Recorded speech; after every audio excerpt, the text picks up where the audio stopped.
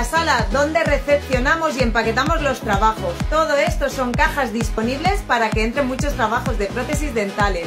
Las amarillas son de fijo, las azules son de removible, las rojas son de implantes, las verdes de ortodoncia y las cajas blancas como esta son las que tenemos de comodín. Y ahora para empaquetar me voy a poner los guantes. Ahora que ya tengo los guantes, vamos a empaquetar los trabajos para que salgan para clínica dental, para que otro paciente más sonría. Higienizador abrillantador para prótesis dentales. Y así ya la tenemos cerradita para entregar a clínica. En una bolsita colocaremos los modelos y en otra colocaremos la prótesis dental con su documentación.